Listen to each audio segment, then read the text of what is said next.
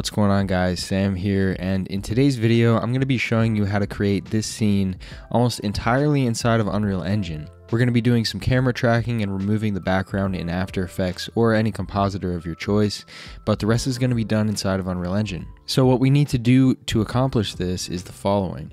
First we have to 3D track our footage and export our 3D camera from After Effects. Then we import that camera into Unreal Engine. Next, we're going to go back into After Effects and get rid of the background so we have a footage plate of just our actor. After that, we're going to export that footage plate with an alpha channel as an image sequence for use in Unreal Engine. Then we're going to load that footage onto an image plate in Unreal Engine, and last we're going to build our scene using the footage plate as a reference. So before we dive into creating this scene, I want to let you guys know that I've started up a membership program on my website, which is going to give you access to at least two exclusive in-depth videos per month consisting of tutorials, video essays, training, or discussions with high-level filmmakers and VFX artists. I'm also going to be soon adding a lot of downloadable content to the website, like 3D assets for use in your scenes, stock footage, project files, and hopefully some presets and products in the near future. So you don't want to miss out on all that. I've already uploaded an in-depth, step-by-step walkthrough of how I created the scene in this video over on the website, and I've provided a coupon code in the description, so I highly recommend heading over there and signing up for that. It's like 50 cents per day or something like that, and it's going to be an amazing value. You can find the link to that in the description and also make sure to check out all of my courses on filmmaking in Unreal Engine over there as well. But anyway, let's get into creating our scene. So the first thing we want to do is go inside of After Effects, drag our footage into a new comp, and create a garbage matte around our characters so that the character's movement doesn't affect our 3D camera track. Then 3D track your footage. When it's done, find a couple points in your scene that look close to where the ground might be, right click and set them as your ground plane and Origin. This is going to be the center of your scene when you import it into Unreal.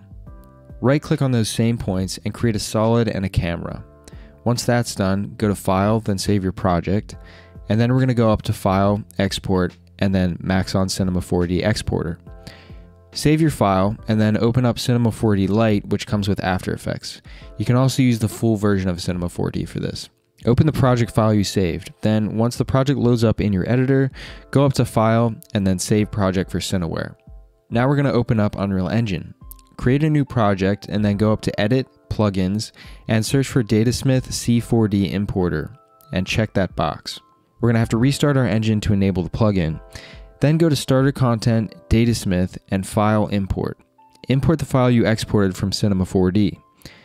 Now if we go into our animations folder which is created from the import, we can open our sequence that we exported from Cinema 4D and After Effects.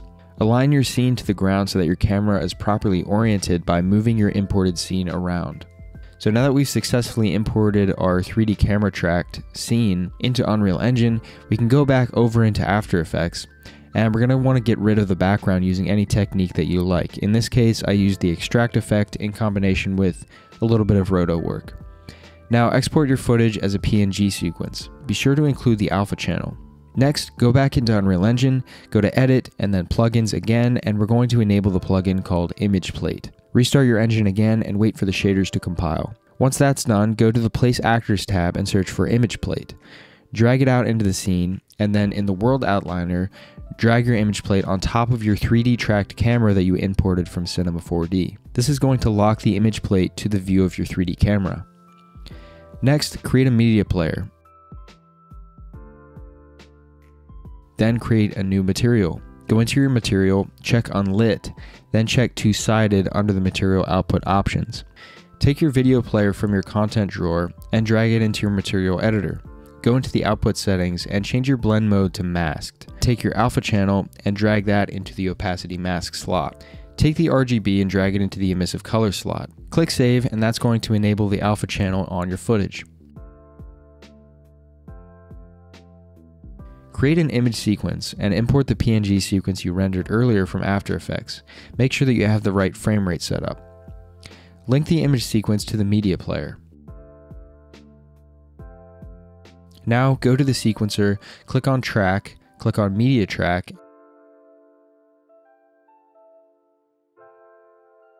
and then right click on the media track, go to edit section, and in the media texture slot, click the media texture that we just created.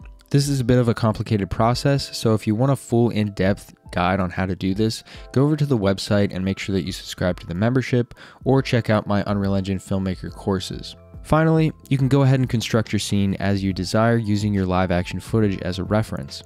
You can see me building the scene here, and if you want to see the full process and an in-depth explanation of how to do this entire process, as well as how I created this entire scene, check out my website memberships like I said. It's basically like a Patreon and all the profits from it will go right back into improving this channel and the channel content for you guys. So if you're interested, check that out. It would be much appreciated. I'll be posting at least two in depth exclusive videos on there per month, as well as discussions with high level filmmakers and VFX artists, some blog posts, and some 3D assets and products in the near future, and even some stock footage to use in your own projects. So definitely don't miss out on all that stuff. And you can also get a subscription to all the courses on my website, so basically a full access pass. So also check that out in the link in the description as well.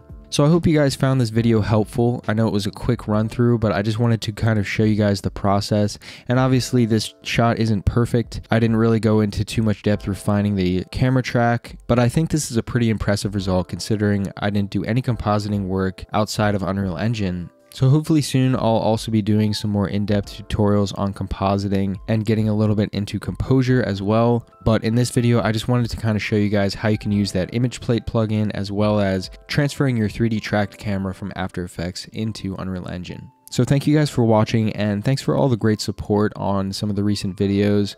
You guys have really been engaging and leaving a lot of great comments, a lot of great discussions. So I really appreciate that. So thanks again and have a good one guys.